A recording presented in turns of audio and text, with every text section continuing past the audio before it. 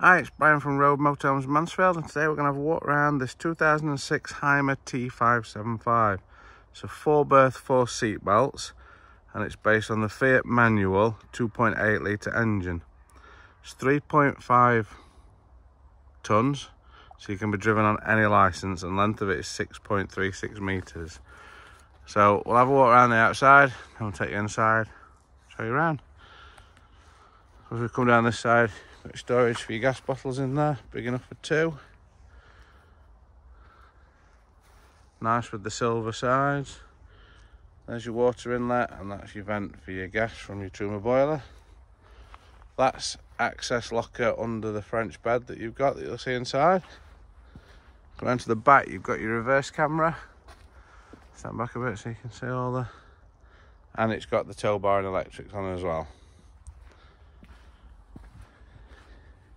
Around to this side, you've got your awning canopy. Moving down, toilet cassette. There's your mains inlet your power. Your double step, which is also electric. Going around. Overall, things to point out. There is that bit up there, if you can see on the video, but we will be sorting that before it goes out. And a little... There we go. So we'll take you back round and we'll go inside and let you have a look there.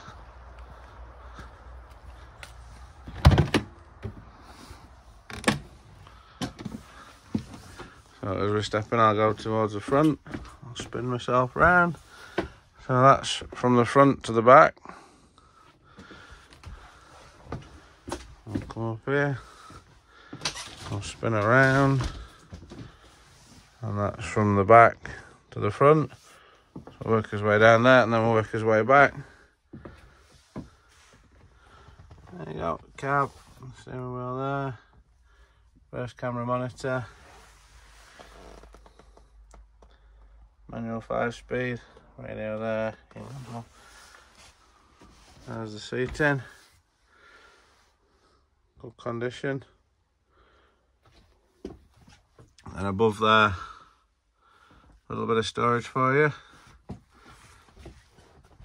Move around to the kitchen area there. So on top here, sink. Got the extra chopping board on top as well. Lots of storage underneath.